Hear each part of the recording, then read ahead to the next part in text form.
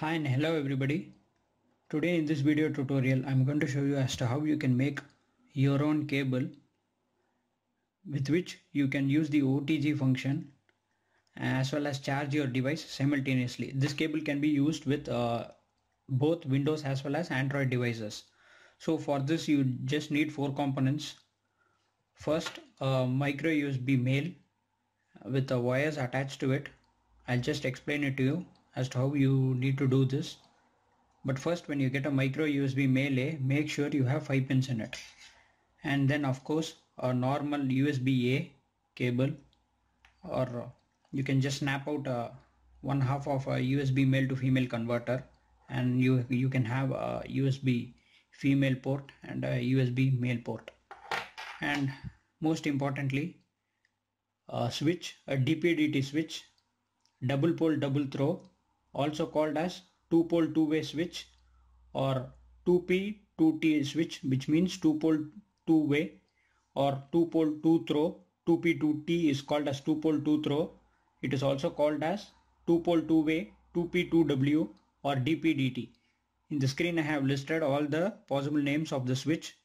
It has two poles which means uh, two center pins and four other pins. In all this switch is expected to have six pins. Uh, the center pin is common to the both the corner pins. So you need this this uh, two pole two way or uh, DP-DT switch. So to get started first connect uh, the wires to your USB male so if you take a look at the cable this way have the USB male pin facing you this way. You can see three pins on the top and two at the bottom. The, the pins are 1, 3 and 5 and when you flip it, it is 2 and 4. 2 on your right and 4 onto your left. When you look this way, it is 1 on your left, 3 in the center and 5 onto your right. So there is a USB code which has wires according to their pins. So red is generally pin number 1 and white is pin number 2, green is pin number 3, black is pin number 5 and only micro USB has a pin number 4 also called as the ID pin. You can uh, attach any wire for your reference. I have attached a black wire with a white tape for my reference here. So when you solder uh, these five wires to your micro USB male make sure they are not shorted to each other. You can check for continuity using a multimeter on these terminals here. So I'll just uh, give you a closer look. You can see uh, red is here, green is in the middle and black is at the corner. Make sure you do not short all these pins and if you want you can just add a dab of hot glue here. So once this is done, you should basically have five wires coming out of your USB male And so let's get started with the connections. What you need to do is attach all the positives together. Attach all the uh, red wires of the female, male and the micro USB and solder it together. I have soldered all the red wires together. Next step is to solder all the white wires together. This is also called as the D minus. White is also called the D minus. Red is the positive and white is the D minus. Solder all the D minus wires together. I have soldered all the white wires together. Next step is to solder all the black wires together.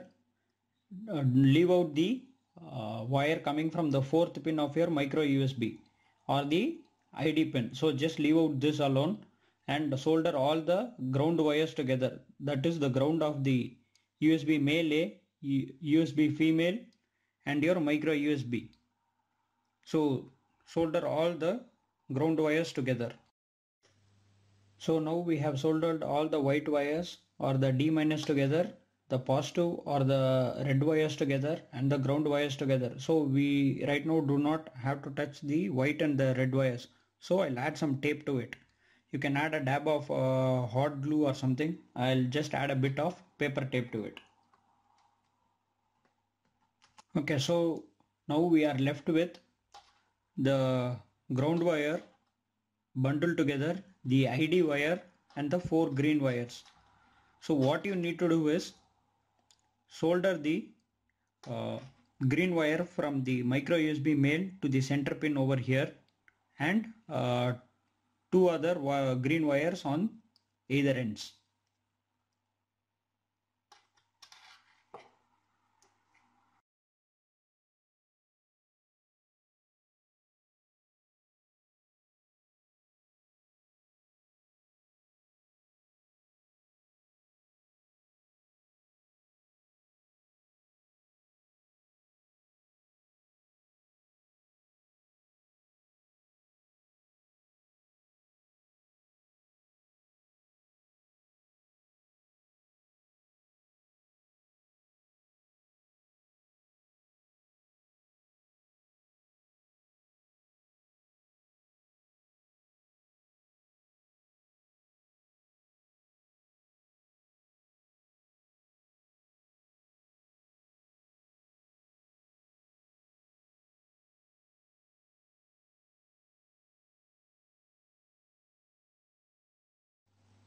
As you can see now I have soldered the green wires. The center green wire is from the USB male A. The one onto your right is from uh, USB female and one onto your left is from male USB now the second part is to solder the bunch of uh, ground wires to the center pin. And then the ID pin will go on the opposite corner of your green wire of your uh, USB female. So if you have connected your USB female on your right, the same pin behind it should be your ID pin. So now let us go ahead and solder the black pin to the center of the switch. As you can see now, I have connected the bunch of uh, black wires to the center pin of the switch and on the other side we have the green wire from the USB female. The center pin goes to the D plus of the micro USB and other one is the D plus from the USB male A. And now only we have two pins vacant over here. One on our left and one on to our right here. Say suppose here if you have connected the USB D plus uh, cable from your uh, USB female the exactly opposite side should have the ID pin from our uh, micro USB male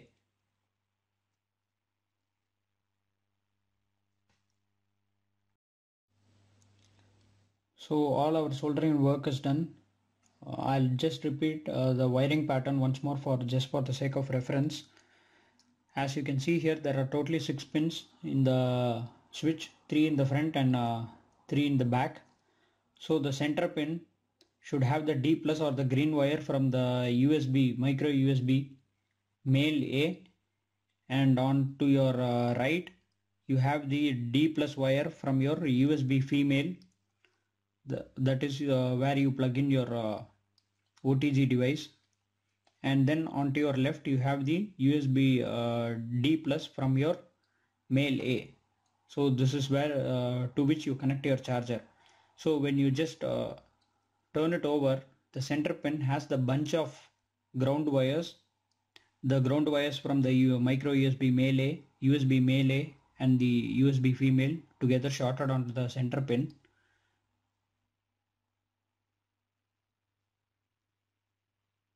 And then onto your uh, left you have the ID pin or the uh, wire from pin number 4 of your micro USB male A so this is a very crude way of doing the wiring. There are better ways actually to give it a better look or finish. I suggest you do it very slowly and carefully.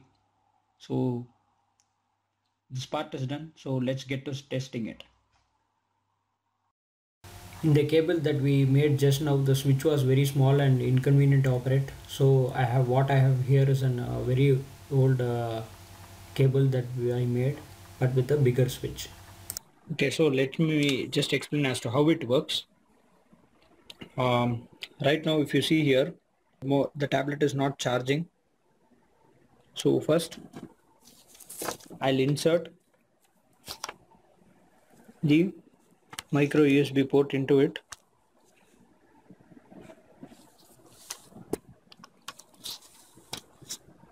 I have my charger connected here to power the USB so let me connect the USB male A into the charger.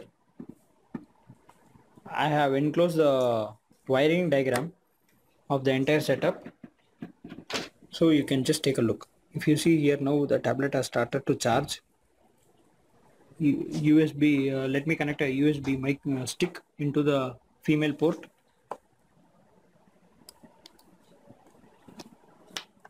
as soon as I connect the USB toggle the switch in the opposite direction. Now you could hear that the tablet has recognized the USB and it has automatically opened the USB drive. And if you see here it is charging as well.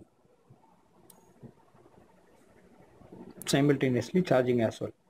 So this is how it works I hope you find this uh, video very informative and useful. And if you feel so please subscribe for more such videos. Thank you